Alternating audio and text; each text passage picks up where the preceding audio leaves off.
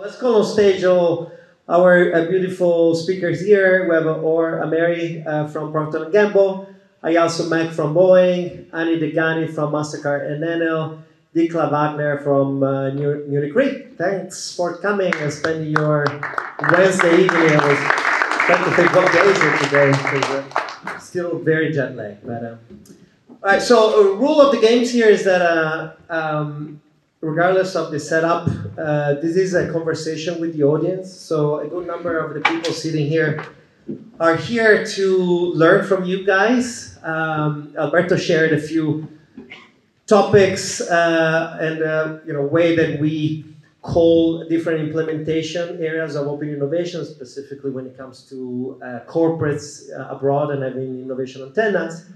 But really, the idea is that to uh, take some time also to get from the audience any specific, you know, uh, information they might need. Uh, probably half of them would be are in a situation where they're considering maybe to open an antenna specifically in Israel. So, so first things first. I think you have a, um, a, a mic to share. Let's start about the basic. Let's talk about uh, how you uh, your company makes money right? So some of you easier to some extent, at least we level the playing field. So why don't we go through uh, the list and we start from uh, P&G.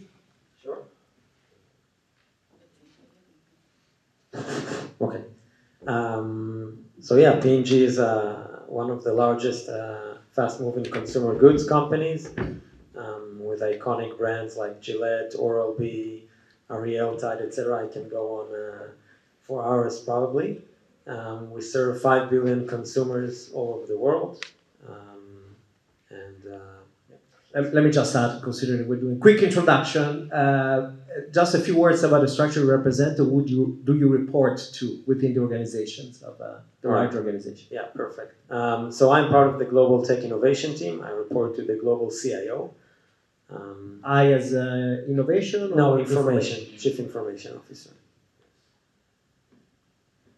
And the justice is just to competing the how many people you have uh, in Israel. So in Israel we have a total of 40 employees, but that's the total of P&G. Our group we are four people. Four people, and then you have other innovation antennas outposts in other ecosystems. Yes. So Israel was actually the second innovation outpost of P&G worldwide. You started here. We started here about six years ago. Okay. Um, the first was in Silicon Valley, obviously, and right now we have 18 innovation outposts worldwide. Ah, yeah, Boeing. What, what is that company? Well, first of all, thank you all for staying awake uh, and being here all day in the conference room. So, uh, really grateful, and it sounds like you guys have had a very busy day. So, thank you for. We'll try to keep you awake. Uh, I work for the Boeing company. Been with Boeing for 12 years now. Boeing has been around for 107 years. Uh, hopefully you guys came to Israel on a Boeing and not on an Airbus, right, everyone? Good. Uh, our presence in Israel is relatively small. Uh, Boeing has roughly 25 employees in country, but then we have a lot of partners in the country that are manufacturing suppliers, and of course our, our customers. Um, the innovation team that I, I, I lead is um, an army of one, uh, one but mighty one here in the, in the country. Uh, Better solo than in bad company, right? Excuse me? Better to be solo than in bad company. Oh, yeah, I guess that's when we're looking at it. Um, and uh, reporting up to the CTO. Uh, I'll share throughout the storytelling here in a few minutes, but we had a corporate event, a CVC, CVC within Boeing. We spun out the uh, uh, investment unit, left inside the innovation and technology implementation unit. That's what I lead today, uh, working very closely hand in hand with our ventures team. Um, and as I mentioned, reporting to CTO. Um, and you have the most difficult situation here because you are joint venture, you represent two brands in one, and so that's why we invited you to. to the real reason is asked Ilan to have five companies, but he just was able to have four stools, and they said, okay, two for the price of one. You got two for the price of one. So, I'll try to make it uh, less complicated. Uh, first, uh, hello everybody, happy to be here. So uh, I represent FinSec Innovation Lab, uh, FinSec for uh, FinTech and probably cybersecurity. um, which is a joint venture by MasterCard and Enel. So uh, you probably know both uh, MasterCard, a technology company in payments, and Enel, uh, the Italian utility company. Uh, which uh, joined forces uh, to bid for a tender to operate an innovation lab in Israel, um, sponsored by the Israel Innovation Authority, the Ministry of Finance, and the Israel National Cyber Directorate. Um, so Mastercard actually has uh, used to have only business activity in Israel. So when the lab was formed, I think there was, there were like five people here, more or less. Um, and after acquiring a Dynamic Yield last year, now we have more than 300, something like that. Um, and the lab, in the lab, we're a team of five. Uh, Enel has only innovation and scouting activity in Israel. Uh, the, uh, we don't have really an open market uh, in energy in Israel. Um, what else? Um, what do you report to in this complicated structure? Whew, um, so uh, under maybe so under Mastercard, we're actually part of the cyber intelligence solutions, and under Enel, we're part of Enel X, which is the growth vector or everything which is not energy uh, in Enel. Um, so complex, but uh, a, a, lot of follow-up questions there that will come in a second. Dikla. Hi, hi everyone. Thank you for having me. Great to have you all here. Uh, my name is Dikla, Dikla Wagner. I'm head of tech scouting for Munich Re here in Israel. Munich Re, as you probably know, is one of the largest reinsurance company in the world, uh, $300 billion under management.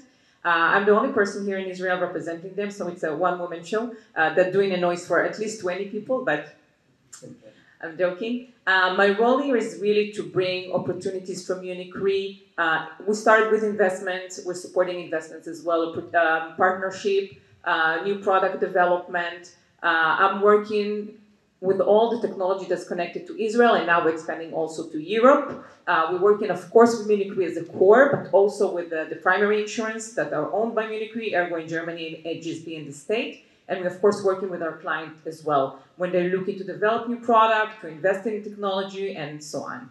So I'm reporting, I was very fortunate and, and, and really lucky. I'm reporting to the chief innovation officer of the, of the group, which is under the board. Um, and I think that Israel received a lot of support, and it's really thanks to the management level.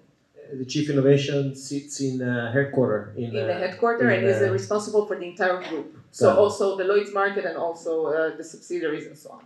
And you had one person in San Francisco who's no longer there and exactly. now he's in New York, right? Exactly. So we have another scouting office that used to be in the state, uh, in the Silicon Valley, and now we it's, it's been closed and we're opening a new one uh, in New York. In addition to that, we also have a lot of hubs around the world, um, also by Ergo, but some by us. And the big innovation group sits in the headquarters. There's around 20, 30 people, and what they're doing is to build ventures. So exactly to the model that you mentioned. Uh, now there's a little bit of shift uh, we're going back to more of a near core, but we have two scopes. So we're looking for near core, what we can develop right here, right now, but we're also looking at the horizon. How the industry, the insurance industry, will look like in five years from now. Can we dream today to build something that will be the right fit for the industry in five years? Good. I think that was a good uh, a good introduction. So you get a sense of uh, at least what you guys are selling. No, uh, keep keep the mic because the first question I have is for you. Uh, try to follow uh, what Alberto presented before of the different implementations, some of you actually doing more than one thing, so we can cover why and how. But I would move from uh, R&D all the way to investments and anything in between. So talking to R&D.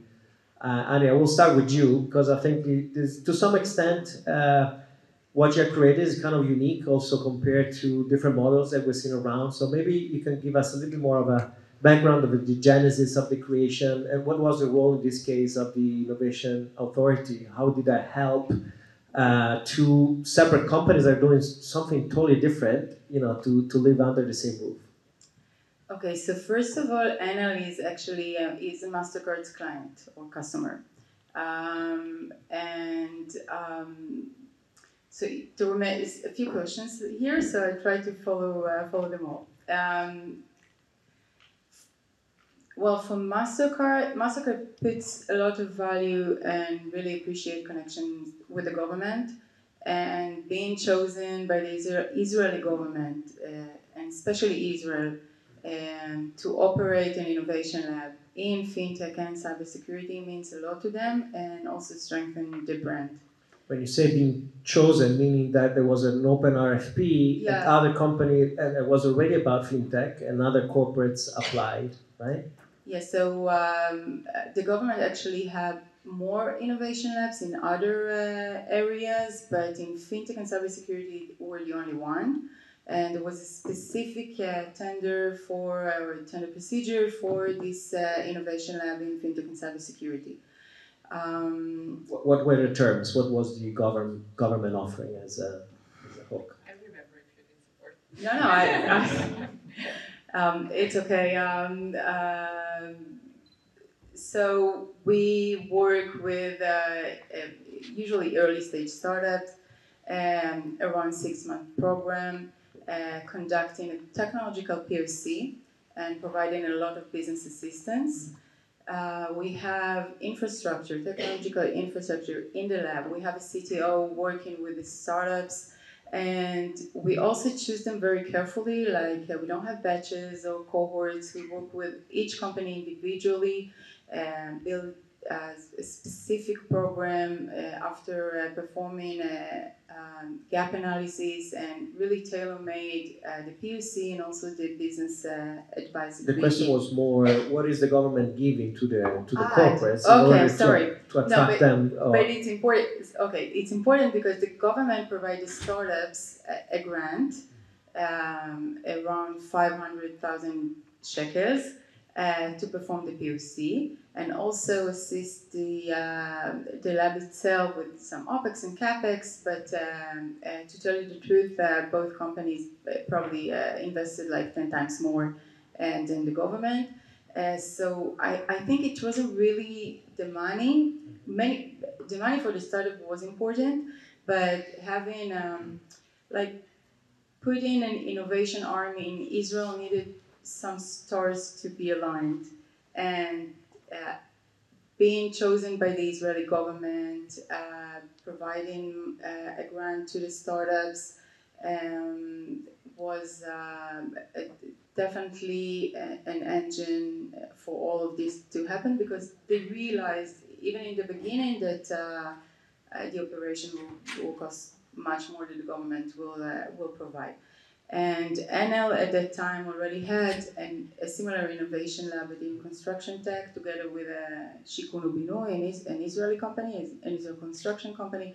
So um, um, I think uh, it made sense at the time.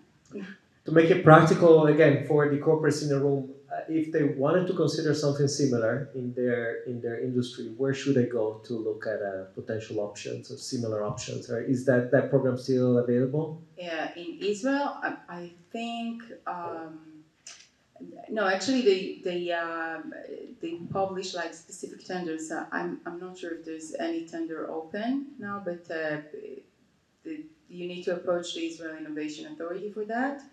And I, I think it's it's a unique program. Uh, the Israel Innovation Authority in general is a very unique uh, That, that, authority. that's what uh, we got also today this morning. We had a, deeper uh, presentation about that, and it's clearly for us that are you know present in different ecosystems is one of the unique uh, selling point that Israel has. Very strong. One thing that I, I want to add is that there are benefits in having a joint venture. You can uh, diversify uh, the interest, you share the risk. Um, you have a, sometimes uh, you bring different insights to uh, the screening process and also to the um, um, even the focus areas or the things that you, you bring in. So So a part part of the um, request from the RFP was also to have a joint venture, or that was your decision as a, as two entities. It, it wasn't a request, but it was highly recommended. So, yes. It's called more persuasion, yes. Yeah. It worked. Before we move on from the R and D, any other experiences here that are worth uh, sharing about you know some activities that are related to R and D? I guess there you're back into that side of the business. So we, in the antennas, you got us right. We are in that uh, left column, but we have plans and aspirations to go to the right column. And something I'll say about the uh, Innovation Authority is that they are very uh, flexible and uh, willing to shape opportunities. So we, we have two uh, new ideas in the making, one of them around cyber, but cyber for aviation, which is really a closed garden community. And what we get there from uh, the government is not just the um, monetary support, but also some uh, due diligence on the players and actors. So when we invite people into this uh, cyber innovation hub, we also know that they are vetted, trustworthy, have credentials that you know the government of Israel trusts these people, um, military background, of course, and then that offers us a lot of comfort that we're not letting into our systems people that we don't know who they come from, what their backgrounds are. So that's That's both at a startup level and at a corporate level. Yeah.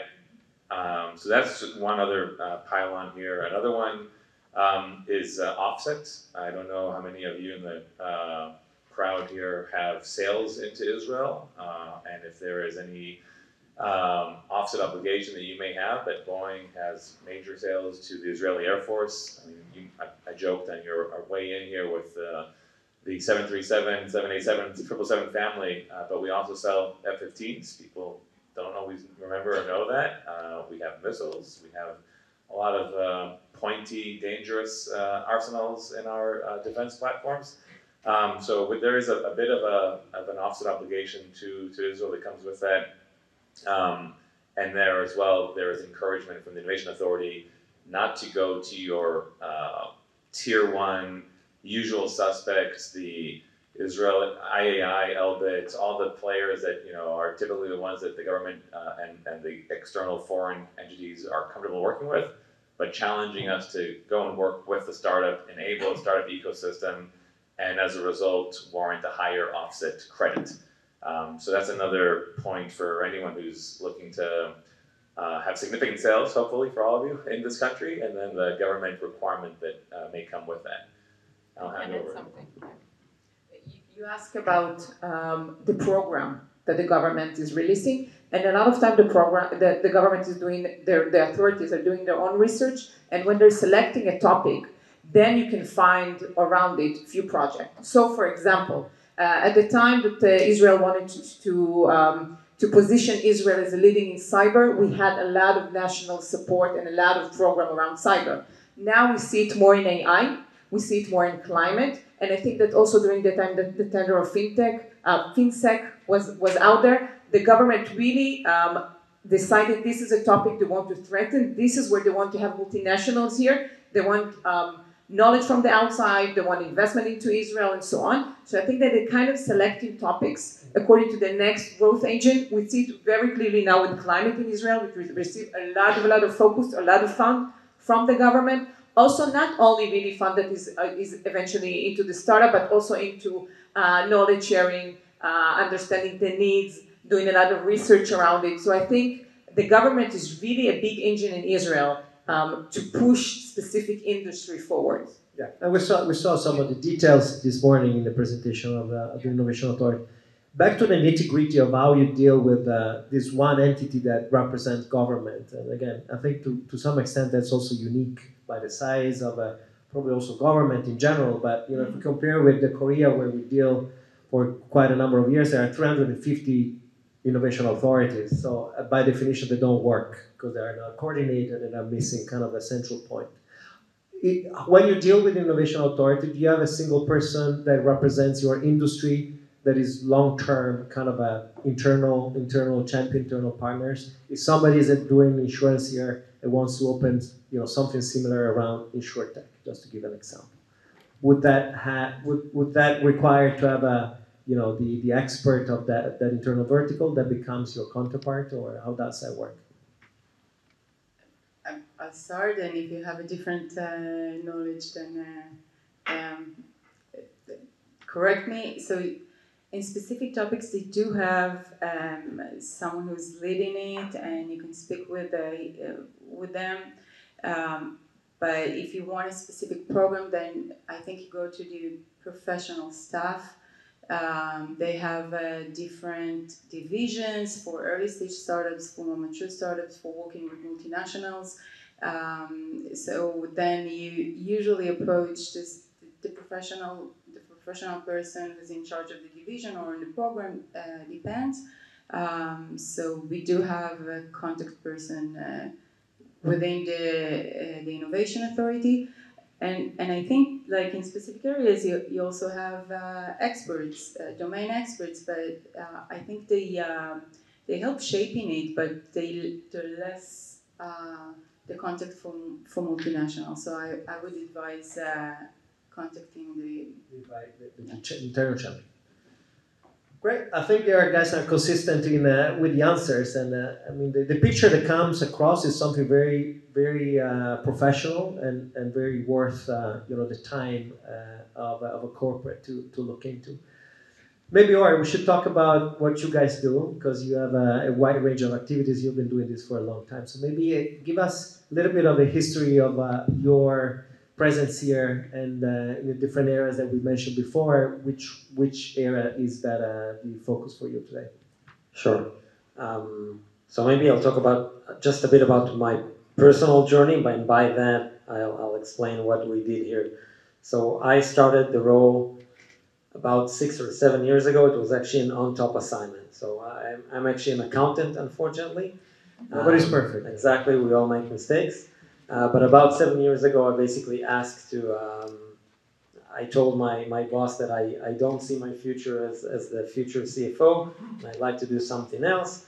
They said, All right, what would you like to do? And I said, Open innovation. I would like basically to relaunch P&G's innovation activities in Israel because about 15 years ago we had some innovation activities here, but honestly, I mean, between us here, it was more about PR. Was, uh, was what it was showing in the first slide that it was still the era of marketing. Exactly. Um, and what, what I wanted to, to suggest is basically let's you know put the PR aside and let's actually uh, create some, some meaningful results. And luckily, after two weeks, they came back and they said, hey, this is great. From now on, you're leading this activity, but it's an on-top assignment. So that's how it started. After a year, when results started to show, it became 20% of my role. Another year, it became 50% of my role, and I got linked to the uh, global headquarters. And a year later, it became a full-time position. And a year later, it became a team. Um, so basically, um, that's know, in, a, in a nutshell. Basically, what we are doing is we are working with all the different uh, global business units. We interview them on a quarterly basis understand where their challenges are. We actually sit also in the strategy meetings. So in order to really understand the, the, the, the path of each business unit and not only what are their main challenges right now, but also where they see themselves in five and ten years from now. So do you have recurrent meetings that you know are dedicated to strategy where innovation right. is one of the key topics? Right. Um, and according to that, we go back uh, basically to um, to the, the local ecosystem, the VCs, the accelerators, etc., and we share the, the challenges.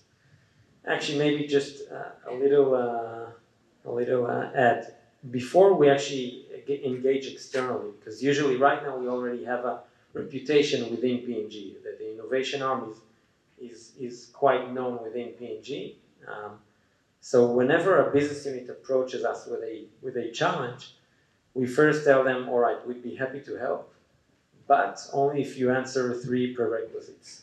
First, we want that uh, requirement to come from your VP, because we want to make sure that they look at it as a must-have versus a nice-to-have. Second is budget for the sake of a POC. Um, between us, again, I can I can tell you that we have that budget, so I can support many POCs throughout the year, but I want them to have skin in the game. And third is human resource, because we realize that the most important thing for the entrepreneurs is their time. And we will not accept a situation where the entrepreneur needs to chase the corporate guy that you know would be uh, doing her a favor and will be answering her emails once every three weeks. Or just just to, to stop you because I think you say something that is super relevant because again, unfortunately we see these open innovation activities working with many corporates. We see when they work and when they do not work. And what you say, this is the three pre-requirements. And it is, is, a, is a statement you can make after, I believe, uh, some years of getting an internal reputation, Right. creating an internal appetite, Right. producing some results, and creating sort of internal healthy competition and culture where you what you do is relevant. Because probably if we have some companies that just starting the game, if they go there and say, oh, we have three careers, they say, okay, sure, no, sure, sure. That's the dog. take it, you don't show up anymore, because I don't even listen to you. Yeah. You're telling me to do something that I, I don't have time, I Right. don't believe is important, and now you also tell me put in some conditions. Yeah. You're absolutely right. And I think when, when we started it, we focused on quick wins. So we took whatever we got. It wasn't huge projects that, you know, Give us an shifted- example. What was a quick win? A quick win was actually a, a company that uh, created automated subtitles for our commercials for every language. It wasn't substantial, it didn't create huge amounts of savings, but we were able to gain that was my, my first project. We were able to, to provide value to the business unit quickly, and they started talking about us. That was that was a quick win. We did it in I think one month or so. It was a collaboration, yes. Yeah, it was a collaboration with a, with So a what we call yeah. venture clients. Yeah, exactly. Venture client, quick win, something Yeah. that doesn't involve uh, 55 different people, Right. billions or something. Right. You get uh, the ball rolling and then uh, Yeah. you get speed. Yes. Exactly. How do you formalize those wishful, you know, uh, in, engagement levels? Because it's easier said than done, right? So do you formalize it just, you know, it just expected that the rules of engaging with you guys are the three that, uh, that you mentioned? Uh, we we have a very structured process. So whenever we receive an approach, they automatically receive the, the prerequisites.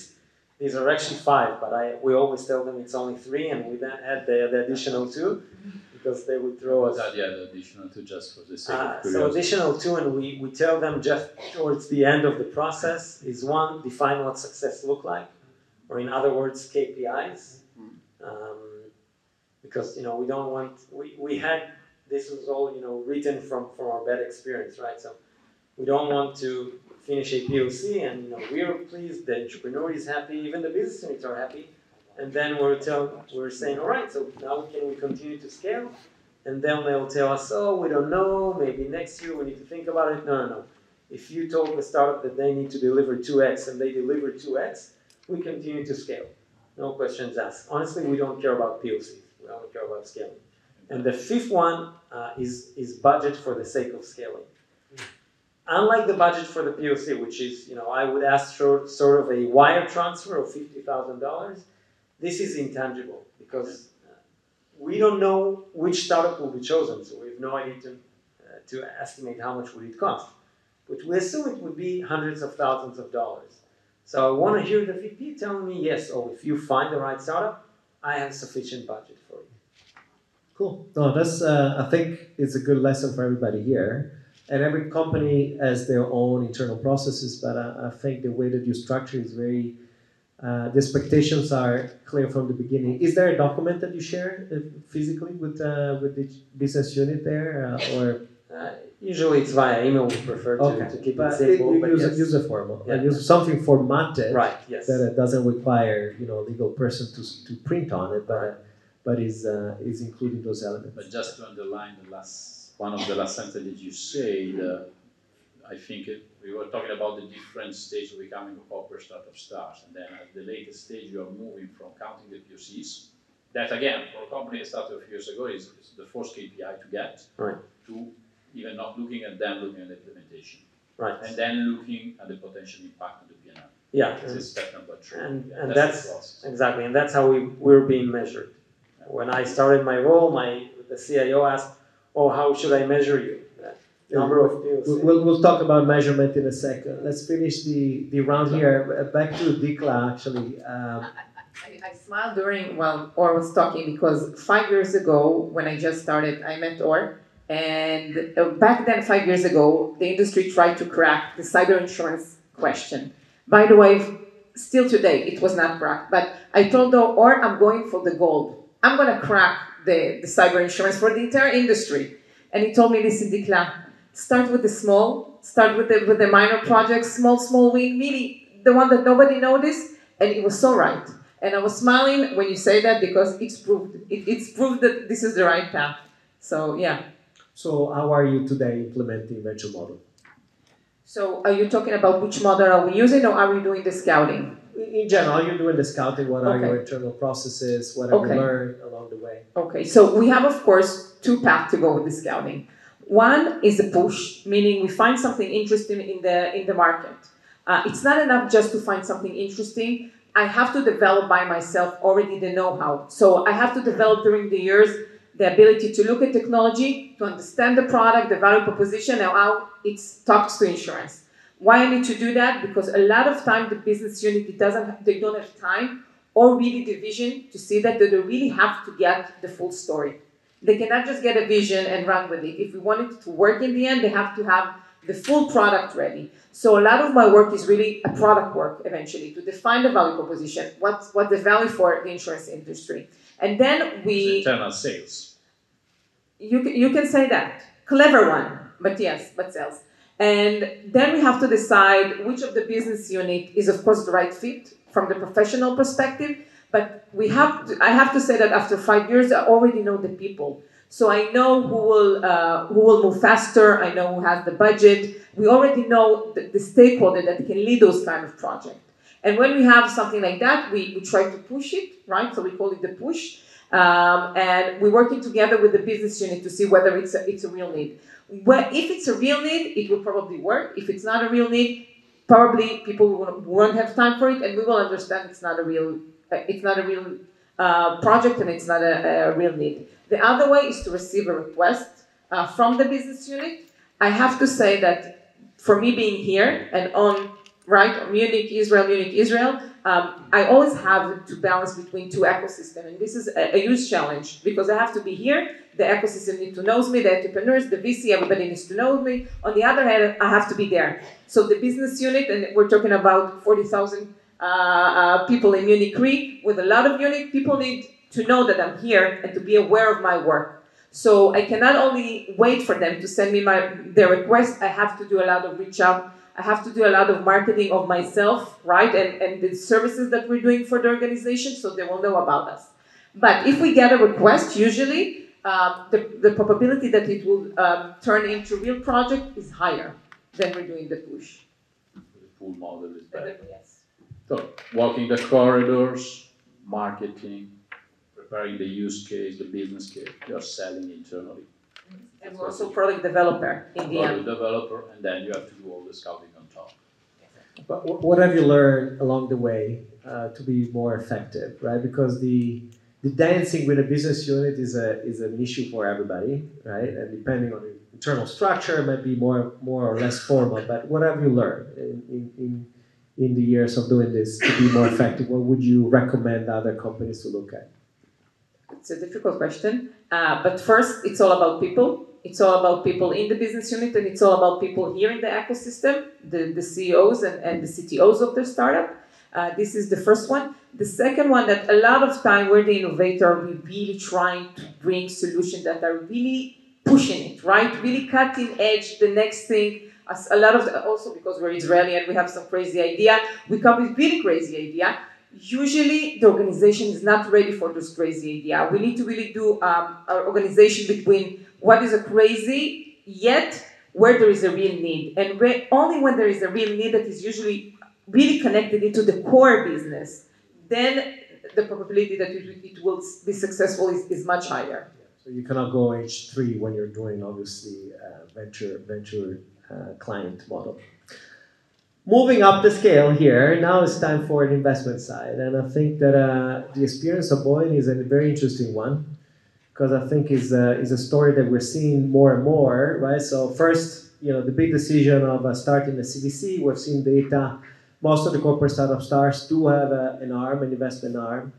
But the second, the second one is also the ability to start, or the consideration to externalize the management of the CVC, or at least to open it with multiple LPs. So maybe you can share a little bit of the of that path that happened at Boeing and Horizon X. we're thinking of also uh, writing a book and selling a movie because a lot of Netflix, corporates yeah, are, uh, sure. are interested in this uh, new hybrid model. Uh, but before I go into the hybrid model, we've been in this business since 2017.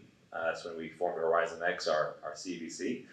Um, and I'll say, you know, you talk about uh, lessons learned and, and the maturity of these CVCs. I have a lot of scars on my back and a lot of pain and a lot of getting kicked out of conference rooms because we started with, you know, we were the CEO's baby. Boeing is blue. I don't know if everyone knows this, but our, our you know, we have a Boeing blue that's the only approved external comms, and Horizon X was red. And that means nothing, but it's also like the biggest decision that was made because what do you mean this business unit has the red color? Everyone has to be blue. You're red. So that was like the first day we realized There was already a red flag right there. and it wasn't so difficult to catch. Something different uh, with this group. And then we had the very opaque mission of disrupting Boeing from the outside. So doing what the business units would not or could not do on their own.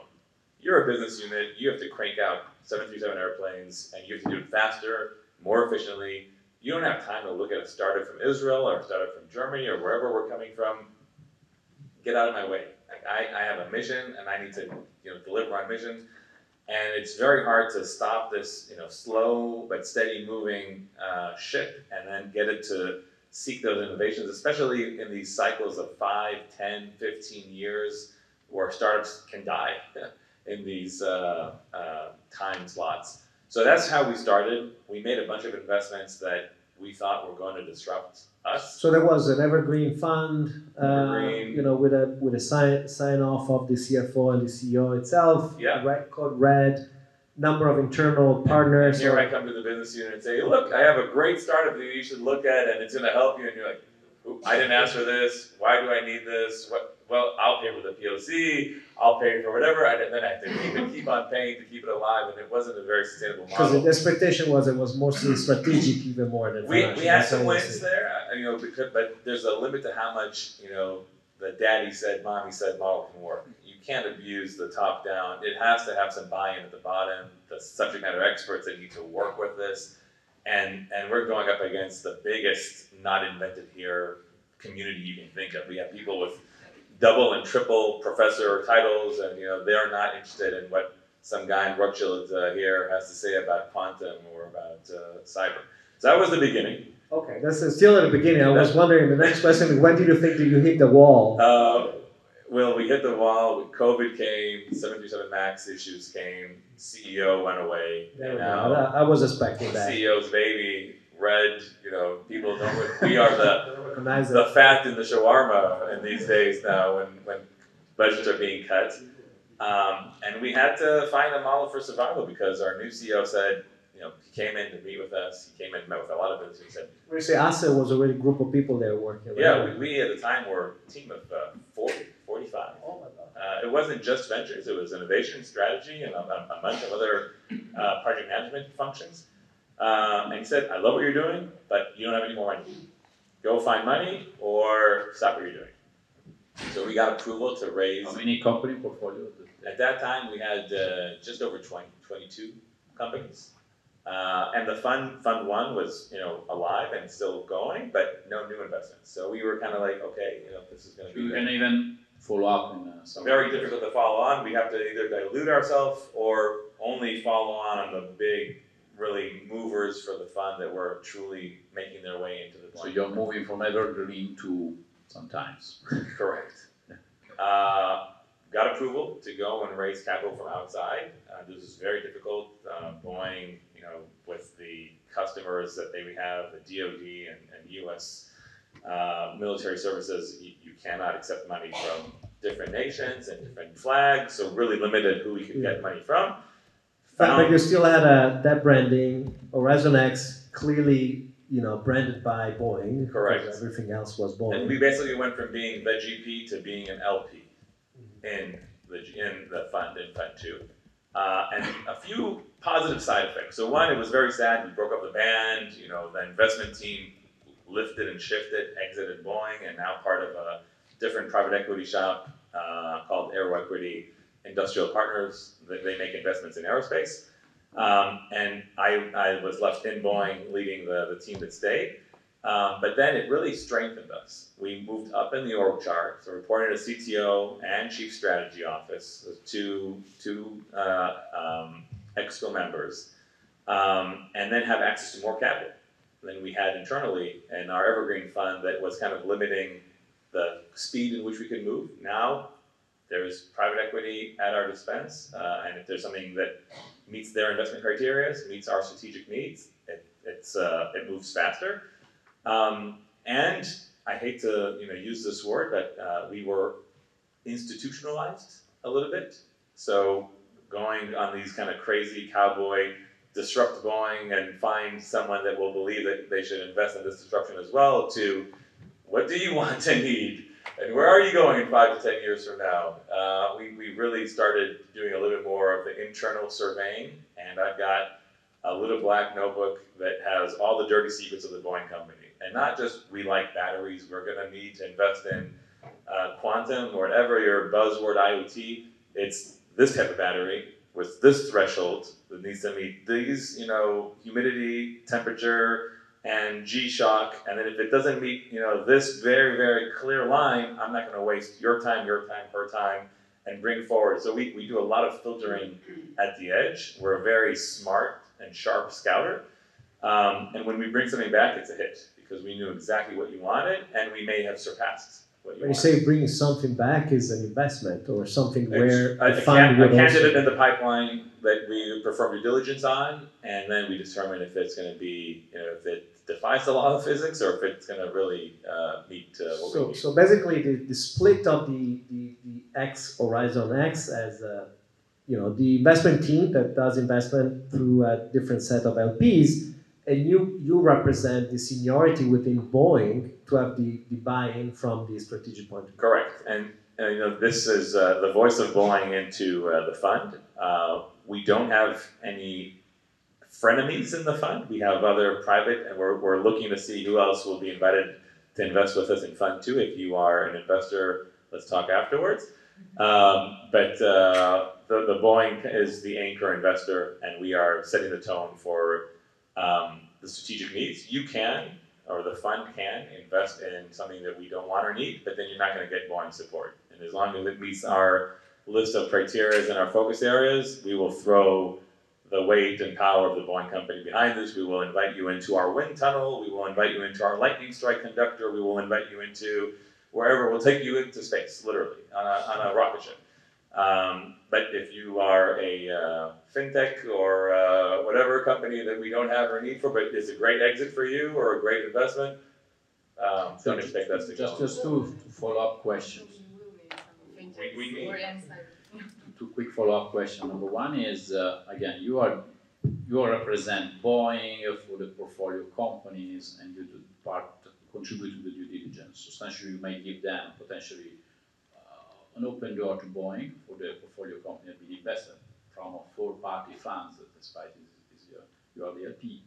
And the other way, also, you're providing due diligence. The question is, uh, all this stuff is is subject to the fact that they have been invested, or you're also scouting for solution that might just enter a partnership with Boeing without any investment needs? So, uh, just to your first part point, uh, we like to say that we offer unfair access, but not unfair results. I'll get you the meeting with the CTO. I'll get you the meeting with the vice president of defense, commercial, whoever it is that's relevant for your business. But it's on you to, to follow up and deliver. You that. open the door, but the door remain open, you can also get out. right? Yeah, and if and if you promise something and then in half a year or three months from now you're not living up to what you promised, I'm not going to be able to defend you. So unfair access, but not unfair results.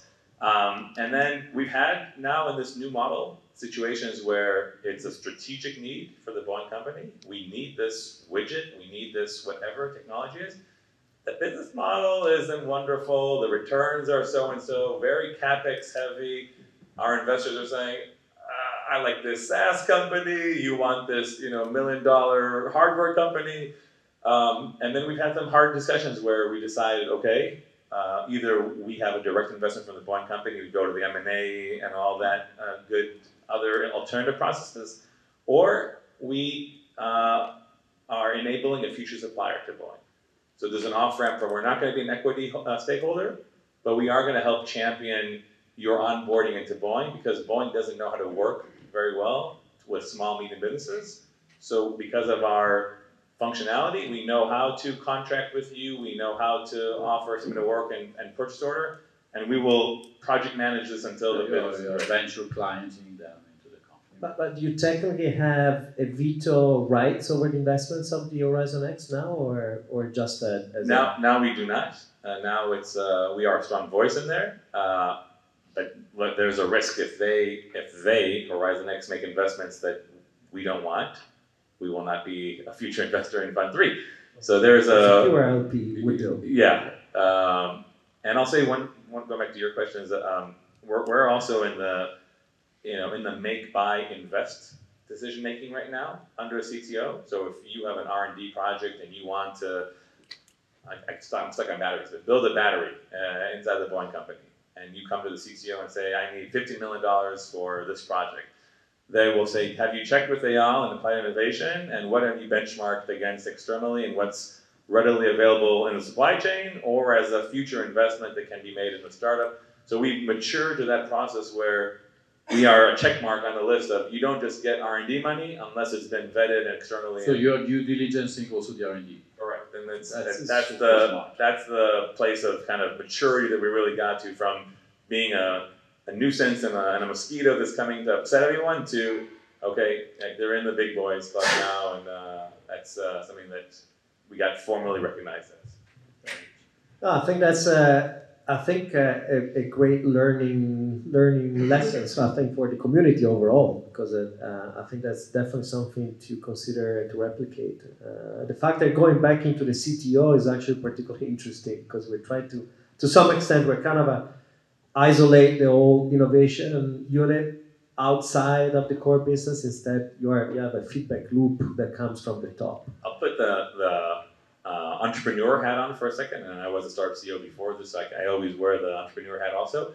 But you know, our Fund One CEOs were very uh, had difficult times when they were going to their next rounds because now they are painted as a Boeing company, and Painted they're- red. and there are only so many aerospace companies out there that want and need uh, your product. And if you're already working with one, then you know I'm not going to let you into mine. So that was a challenge that you know we had to put in uh, firewalls in the boardroom and what access do we, the Boeing team, have and don't have, and competitive information. Now uh, we are an LP, and the board seat is held by our investment uh, partners, Horizon X. So there's a bit of a filter there between us, and also is more palatable for our competition and our frenemies that they look at the startup in the next round and say, okay, Boeing is on the cap table, but not in the boardroom Right. in these uh, decisions. Yeah, which is a process actually many companies have, have been through at, at that stage. Uh, how many LPs are there in the fund? Just two now, right? Is Oh, um, is more than one? There are more. More than Uh, two? we're not naming it quite yet, uh, but some big names and uh, some private money, private equity money. Um, but uh, we're targeting a $250 million fund. Um, and uh, Boeing is uh, committed uh, about a quarter of that right now, so let's do the math. Uh, but is, we'll see how it flows and shapes up, and Boeing may lean in a little bit more, a little bit less, depending on who and how and come in. And the private equity entity that you were mentioning, the Aero Equity Industrial Exactly, Partners. Industrial partner. Are they also the manage the manager of the fund at this stage? Yeah, um, it's uh, it's an interesting model. Uh, There's incentives for all parties, obviously for them being the managing partners of the fund and the and the management fees that they will collect. Um, but uh, we have KPIs in place. So I, I don't know if I said this in my opening, but I get measured on technology transitions, not on the exits and the financial uh, ROI. And it's a it's a really clash because you know my, my colleague uh, Brian Schettler, who's on the who leads the investment uh, vehicle, is is always looking for that you know uh, larger validate valuation in the next round and the and the exits, and, and I'm looking for when are you going to get to TRL nine and how can I already take this and put this on an F-15 or, or in an airplane. Um, and you know my my CTO will will say this until he's blue in the face. Technology you know, uh, and innovation isn't uh, realized until it's transitioned. You can say you're innovative, you have a great idea, a great startup, whatever, but unless it actually makes it into our product and is now showing real world value, then that innovation is, is useless. So that's those moments as, as what we get uh, measured on, and that goes back to I think what Orr was saying about really focusing on the big uh, bets and the big projects. Um, and this, I'll shut up after this, I promise. The the strategy, uh, the chief strategy looks at us and says, "You have way too many projects. You cannot have you know 40 in your in your sales force. What's going on here? Show me what projects you're going to kill." and, and what decisions have you taken to deliberately stop a project because it's not yielding technology yield, financial yield. You may love it, you may have been doing it for three years now, but you have a new project up and coming here which has a much higher return and a much higher promise to transition, and you need to decide what you're going to stop or and go on. And that's that's really hard, especially as you're working with a startup that is you know tied in an umbilical cord to you, and you've been with it for three years and now the moods and the winds have changed, and, and this is no longer a priority for the Boeing company, and we have to work on repositioning them and finding them a landing place without uh, killing the company. And that's and there's also an issue when you have internal R&D Oh, yeah. of, of being able to say, okay, I have so much of this IP that is sitting there and it has no no real value. How do I clean it? So Yeah. this is, I think is part of an extension of the same process. Excellent. Anybody else here in the companies have a, a CVC or an investment unit? So we don't have a CVC or investment unit, but we did make two investments here in Israel with Israeli startups. Um, both of them were actually based on those strategy discussions that we had uh, about the you know five ten years vision. Um, so even without a CVC, we do uh, some you know uh, off balance sheet investments. So as part of the model and the way that the Israel Innovation Authority works, actually they provide 85% um, of, um, they grant of 85% of the, uh, actually the expenses, and we provide the additional 15%. So it's small investments, and sometimes uh, we can take companies, uh, we can actually take companies not necessarily with the IAA, we can work internally, we can work with the ecosystem, uh, with Israelis or non-Israeli companies. Um, but if we want to work with the IA, then the Israel Innovation Authority, then we have these uh, uh, obligations or other obligations. So with very early stage startups, we sometimes uh, also put these small investments, even if they don't go the uh, Israel Innovation Authority route. Um, In your case, it's also a complication. So the joint venture is capitalized by the two the two yeah. uh, entities and, Yeah. and has a separate entity for to take equity, or is using the capitalization of the joint venture. It's under the joint venture, actually. Um, well, um, yeah, eventually it's under the, the joint venture, yes. Um, And then MasterCard, I believe they do off-balance sheet investments into startups, right? Separately. Yeah. As far as I know. Without having a dedicated CVC fund, yes.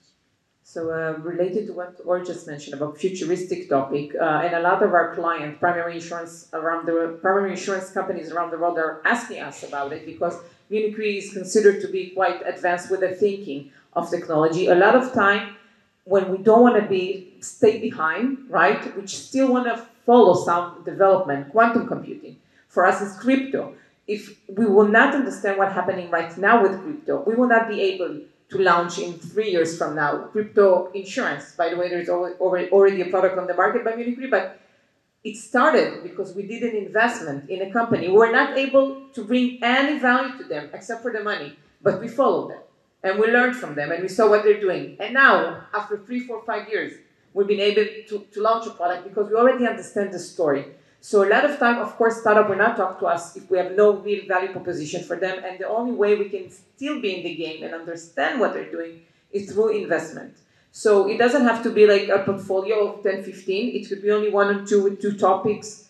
Just for example, as we took uh, Quantum, uh, we had a discussion earlier today with the primary insurance, very good one, uh, about what's going on with autonomous driving, electric vehicles, and so on. Not to be outside of the picture at the minute a product need to be launched. We need to be with the knowledge already. So it's it's it's important point. Yeah, again, is uh, sitting in the back seat.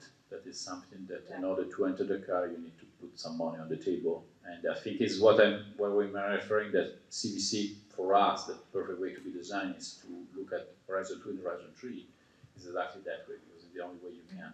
One big, big topic, but I'm not asking because I prefer to get some question from but I we can discuss over a drink after is how, if you are doing investments into startups, are able to measure the strategic contribution to your company. Because again, it's, it's obvious that you are contributing to the future strategy of the company, to the Procter & Gamble 2035 and of 2040, but it's very difficult to grasp and measure. We are working with some uh, global companies to try to find also some potential KPIs to measure the strategic contribution, but still the Because in the investment committee, this is what the VC is claiming that there is a connection. But it's a really good question. How do you, after the investment, measure it? Exactly, yes. This is a big topic again. We don't have an answer, but the topic is as big as on the table. And so if you want to contribute, we are, we are investigating. All right, before we open to the audience, just at a Twitter level, so a tweet from you. I think uh, Ayala already covered how you define success internally and the KPIs. So maybe you can go real quick. How do you define success at the end of the year for you? And maybe one success story that you think that this is my poster child that I think I can, you know, use internally uh, for as a success story. Pressure. Um, so I think I uh, implied to that earlier. We are being measured according to the financial value that we bring to the company, either uh, top line or, or uh, bottom line.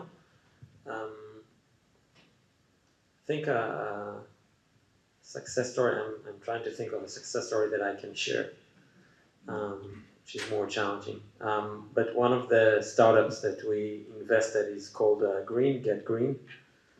It's a uh, teledentist. It's in the teledentistry space.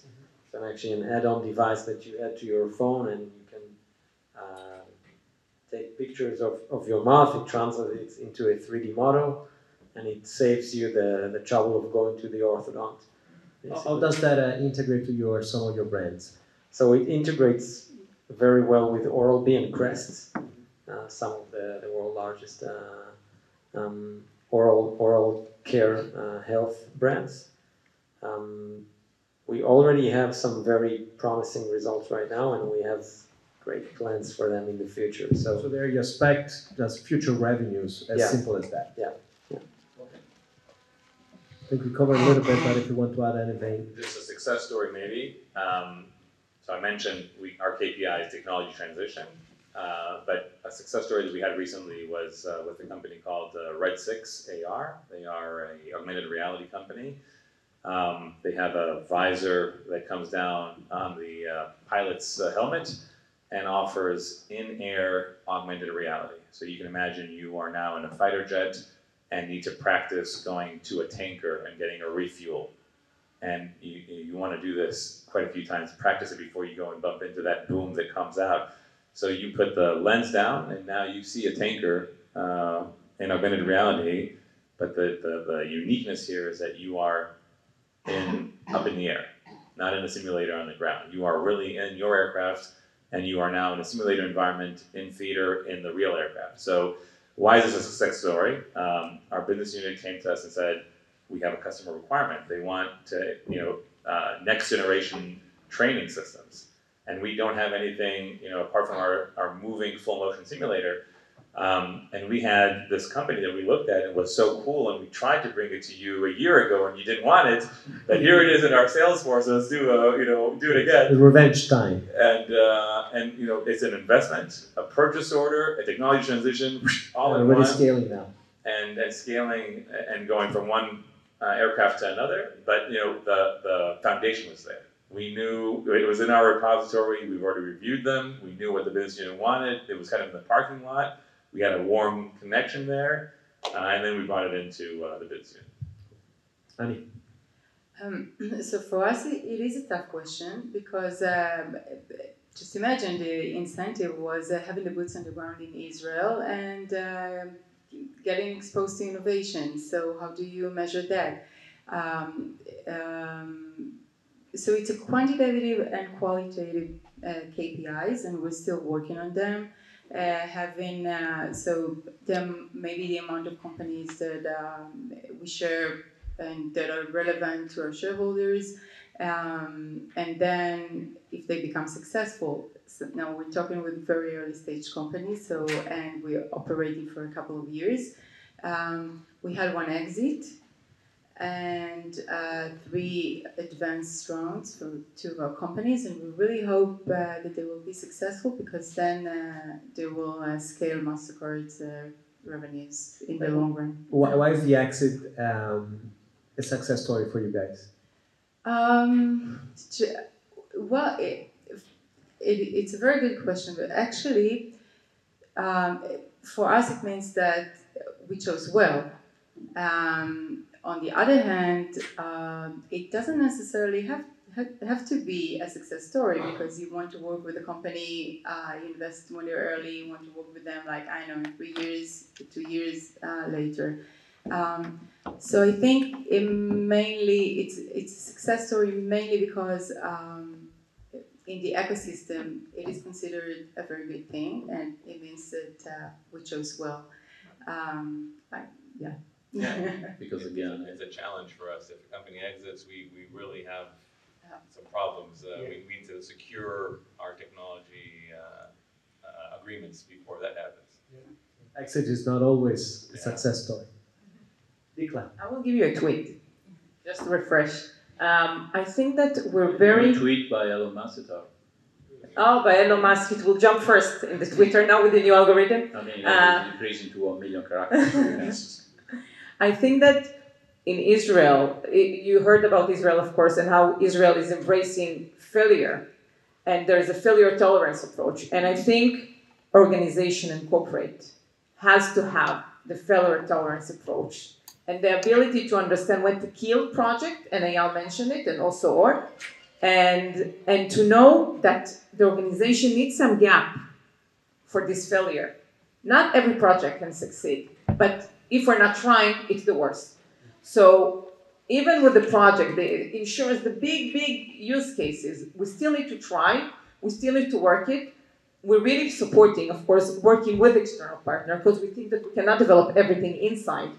But the failure tolerance, it's not so uh, obvious when you're talking to a German corporate or to a London-based corporate. So I think this is the first thing that has to come as a cultural thing, uh, and it really changes the face of innovation. And also people less afraid to do mistakes. They take more risk. So you see that as one of your KPIs, being able to somewhat change that uh, mentality of. Uh, So I wouldn't say it's a KPI, but I will say this is something that we from Israel try to push as a cultural thing. It will not be measured as a KPI. I think the question of KPIs is something that we're all dealing with. What is a success? Can you measure a success as an execute a success, as a POC a success? But in the end, even if we will not have, a, I know corporates that didn't have POCs, they didn't have any success story that is measurable, but still without innovation, they will die. So I think for us, KPIs always have to be really um, holistic. They cannot really be by number. Five years of inve- five investment, and they can be the worst investment. So it has to be more.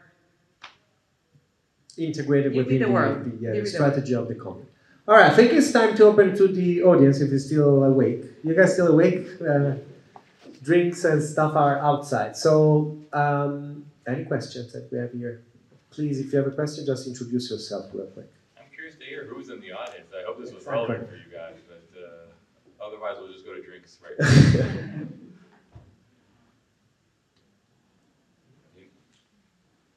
Uh, is, is, please introduce yourself. Hello, everyone. My name is Lorenzo. Uh, I'm part of Pelliconi, which is the, the top uh, market leader for crown caps and crown corks. So every cap you find uh, in every kind of glass bottles, whether it be Coca-Cola, Nestle, um, or ABI. Um, and thank you for sharing your experiences.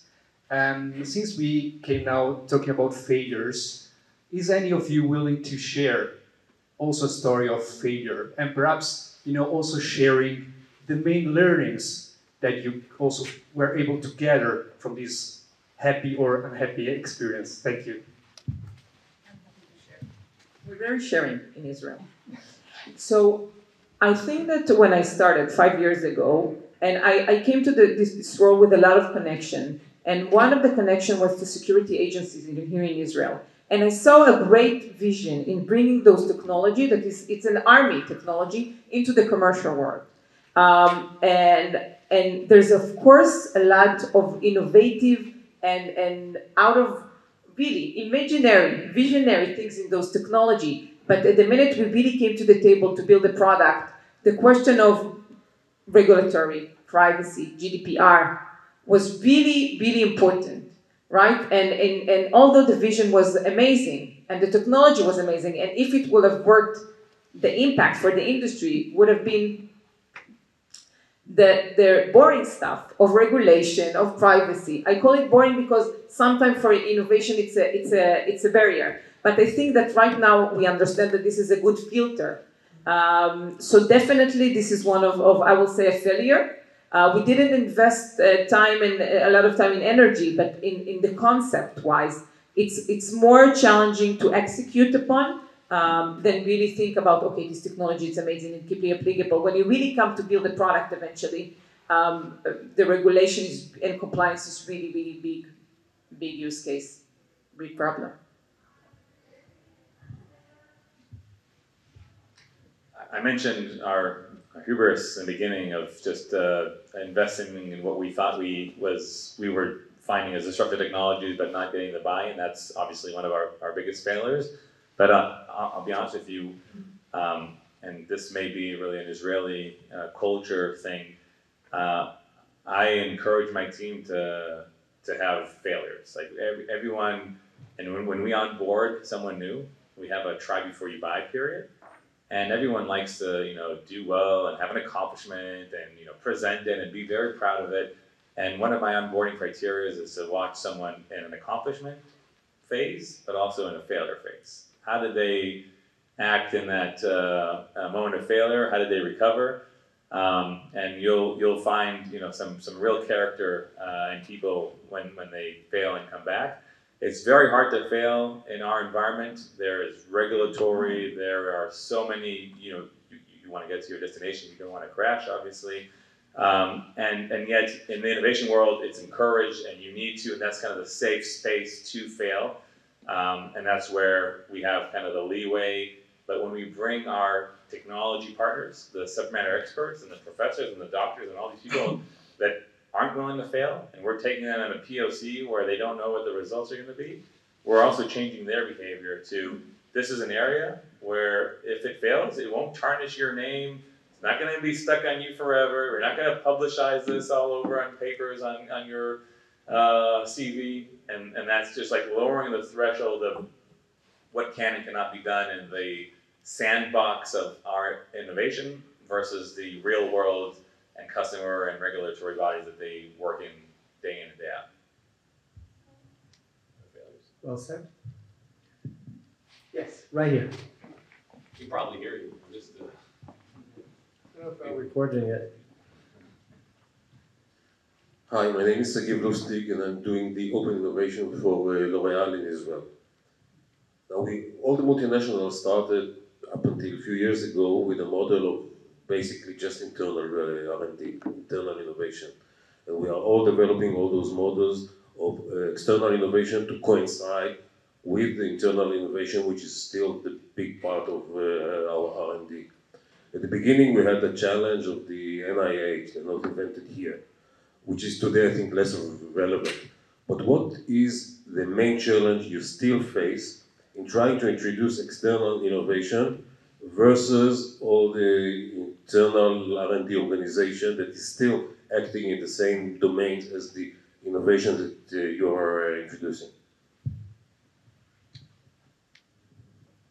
got the mic, I'll go first. Uh, after you go past the non-invented here that you so casually kind of swam through, and it's still a very big problem for me in my role.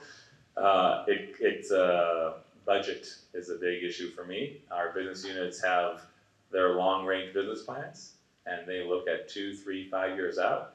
And now you want me to fund uh, a $500,000 POC or buy some licenses or buy hardware and you know, where is this money going to come from and why should I divert it from what's going well with my supplier that I like and trust to this unknown startup from country X or country Y. Uh, so budget is, is, a, is still a big problem for, for us. Um, we're trying to help. We have some leeway. Uh, the chief strategy and, and CFO will say if it's the right thing for the Boeing company, let's discuss it. Like, we shouldn't be holding accountable a business unit P&L that's trying to do the right thing and break their budget, but let's offer some top down, and that's something that, that we help with by just sharing the message. Um, and then apart from that, it's uh, it's just really the willingness to take, to take risk. Uh, and you know, if you've been following the Boeing company these days, where you know our reputation is really what what is most important to to the Boeing company uh, and dif differentiating us from from, from our uh, competitors. And in order to take a leap of faith into uh, the startup world, you really have to have um, great confidence and put them through a lot of due diligence that uh, will limit the risk or reduce it to a point of, of uh, a threshold that we are, are, are, willing to accept. So budget and risk, I think, are my big two ones after non-invented P&G, you, you develop a lot of uh, products, so there's a lot of that syndrome, I'm sure, is embedded. Yeah, the NIH is, is very much uh, What's going on at L'Oreal? uh, alive.